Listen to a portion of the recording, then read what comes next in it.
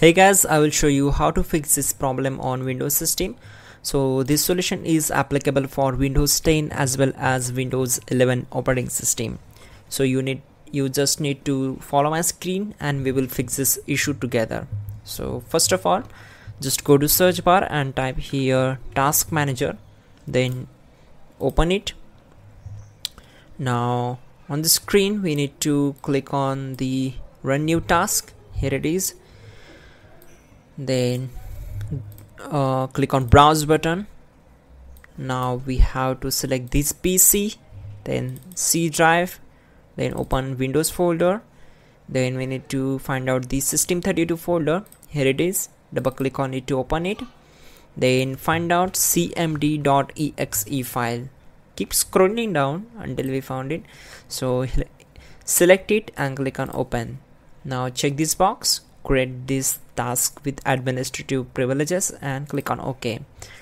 Now close the background windows and we need to execute uh, the command here. So type this command carefully and simply hit enter to execute the command. So type in dism dot exe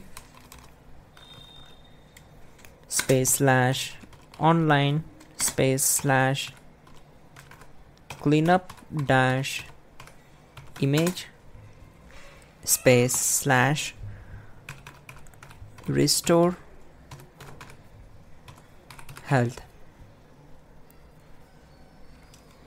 And hit enter to execute this command. So this command will take several times uh, like uh, 10 to 15 minutes to complete the process. So we need to wait for it so keep this running in the background. We will move to the next uh, method that will be just go to search bar and type here disk uh, cleanup and click here to open it.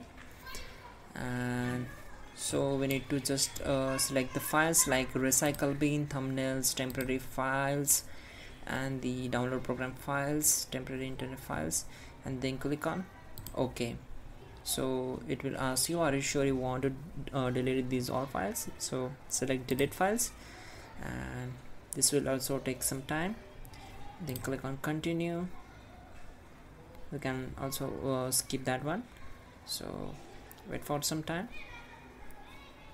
The disk cleanup utility is cleaning up unnecessary files on your machine. So it will help you to fix this issue quickly and effectively. You can also check out our pin command to fix this issue quickly and that will be a good way to fix this issue. Once done just restart the system and your problem will be solved. That's it guys. Don't forget to like the video and please do subscribe the channel